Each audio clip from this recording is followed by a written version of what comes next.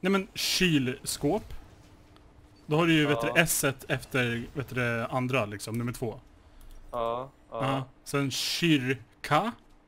Eller hur? Då har du ju ett R Ja. före K där. Sen så kex, man säger faktiskt kex på gamla dagar. Så att eh, där kan du ju äta kuk.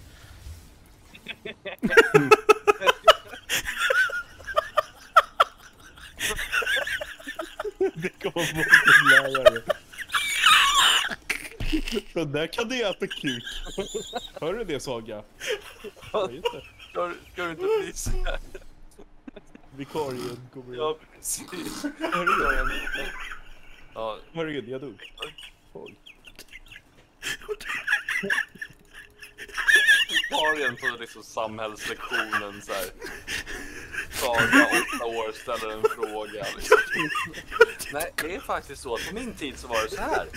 Där kan du... Där Jag kan äta kuk. äta kuk. Jag har legit kul att kolla